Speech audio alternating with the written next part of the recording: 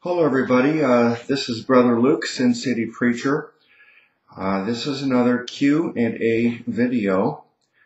The question I received from a brother is, if someone were to be saved and baptized in spirit and in water, if they sinned, would they go to hell for it? Or would they be punished in life? Will any punishment take place at all? It says in the Bible that all sins are forgiven, past, present, and future. Well, I'm going to kind of synthesize it down to make the question, will the saved suffer any punishment for sins? The, uh, the answer that, uh, short text answer I have here is, it is true uh, that Jesus paid the penalty for all sins for all people. When anyone puts their full confidence in Jesus for eternal life, they receive it instantly. However, as we live our lives, we still live under the law of reaping and sowing. For example, bad health habits cause sickness such as smoking causes cancer. And bad moral decisions have consequences such as adultery causes divorce, diseases, broken families, etc. Also, God chastises his children. Well, there's the short answer. Uh, let me discuss this further and cite some scriptures. Uh, in Romans 6:23 says the wages of sin is death.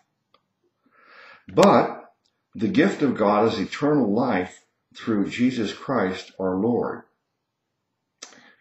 And in John 3:16 it says, "For God so loved the world that he gave his only begotten son, that whosoever believeth in him should not perish, but have everlasting life.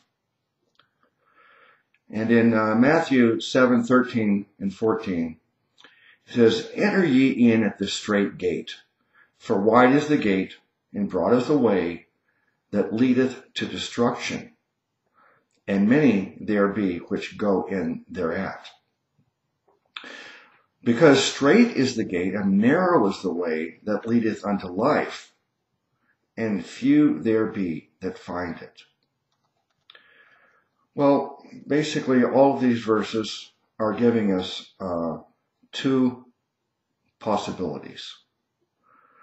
Uh, John 3.16 says the possibility is uh, if you believeth not in Jesus, you perish. If you believe in Jesus, you have everlasting life. So the options are perish or life everlasting. In uh, Romans 6.23, the options are the wage of sin is death, but the gift of God is eternal life through Jesus Christ. So the option is death or eternal life. And if we look at Matthew 13 through 14 again, it says, uh, in that the broad way, the wide gate, that leads to destruction, but the narrow way, it leads unto life. So the options are destruction or life, life everlasting. So that's really what it boils down to. Uh, when when Jesus um, came down from heaven and he became a man, uh, he said the reason he did that, he says, uh, do not think I came, I came to be served, but rather to serve and to give my life as a ransom.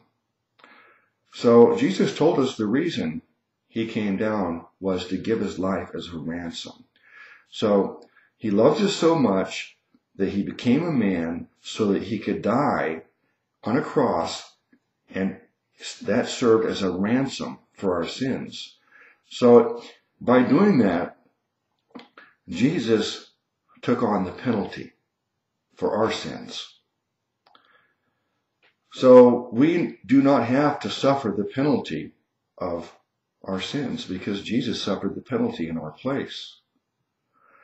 Uh, we who believe in Jesus as our Savior, uh, we live because Jesus died in our place. We will live forever. We have eternal life when we put our faith in Jesus. Now, and that's settled. It, it's, it never changes. Once we believe in Jesus as our, as our Savior, we receive eternal life instantly and it is irrevocable. so that's settled. So is there any consequence for sins for Christians?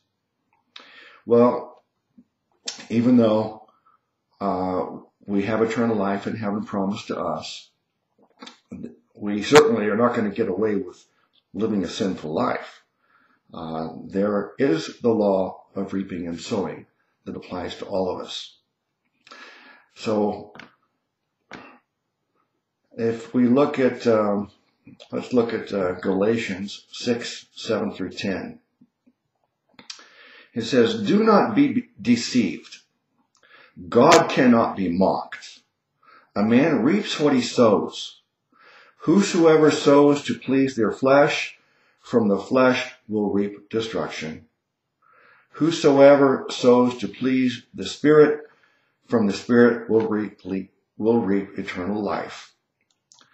Let us not become weary in doing good, for at the proper time we will reap a harvest if we do not give up. Therefore, as we have opportunity, let us do good to all people, especially to those who belong to the family of believers. So here we have explained the law of reaping and sowing. And uh, there are consequences when we, we sin. When we live a good life, we're going to reap good things in our lives. Have healthy habits, you're going to probably have health. Uh, you, you make wise decisions and you will benefit from it. You make bad decisions and you will suffer the consequences. We also have, besides the law of reaping and sowing, we have uh, the fact that when we are born again as a child of God, uh, God be- becomes our father and we are a child. And in that relationship, God has a responsibility to chastise his children. And that is the same thing that if you are a parent, you have an obligation. If you truly love your children, you have an obligation to punish them, to keep them in line for their own good. And that is discussed in Hebrews 12, 7 through 9. It says, If ye endure chastening, God dealeth with you as with sons. For what son is he whom the Father chasteneth not? But if ye be without chastisement, thereof all are partakers, then are ye bastards, and not sons. Furthermore, we have fathers of our flesh, which corrected us, and we gave them reverence. Shall we not much rather be in subjection unto the Father of spirits and live? So that makes the point that uh, God is going to chastise us because He's our Father and He loves us. Uh, and, and, if He didn't chastise us, then uh, that's a sign that He we're not really His Son. We're not really a child of God. Uh, we're simply bastards. Uh, let's look at that in a another translation. It says, as you endure this divine discipline, remember that God is treating you as his own children. Whoever heard of a child who is never disciplined by its father?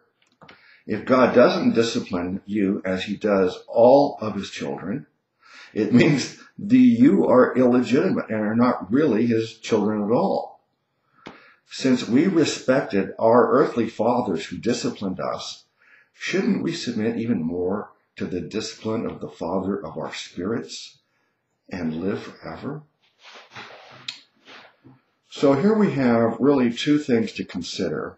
Uh, first, we must uh, understand that our eternal fate is sealed. We are sealed with the Holy Spirit unto the day of redemption. We have eternal life uh, given to us, promised to us by Jesus our Savior, because we put our faith and confidence in Him as Savior. So that is settled. But that doesn't mean that we can just go ahead and live our lives however we want uh, without any kinds of consequences in our lives. The, the two things, factors that will affect us is one, the law of reaping and sowing, and also the fact that God, being our Father, will chastise us and correct us because He loves His children. So, the uh, the answer to your question, brother, is uh, yes, it's settled. Uh, we're never going to uh, end up uh, in that lake of fire. See, those people who don't put their faith in, in Jesus, uh, they are, uh, as it says here in these verses I cited earlier, uh, they are they perish, uh, they they are destroyed, and they are put in the lake of fire, suffering the second death. That's not our fate, though. Our fate, our future, is promised eternal life with joy and happiness and bliss and, uh, eternally with God and with our, the fellow saints, all the other believers. So we have a, a beautiful future promised to us and, and that nothing will change that even if we live sinful lives. But we're not going to get away with living sinful lives because the law of reaping and sowing will get you and also, God will chastise you if you're his child. Okay, I hope that answers your question, and I look forward to uh, everybody else's comments. Bless you in the name of our great Savior God, Jesus Christ.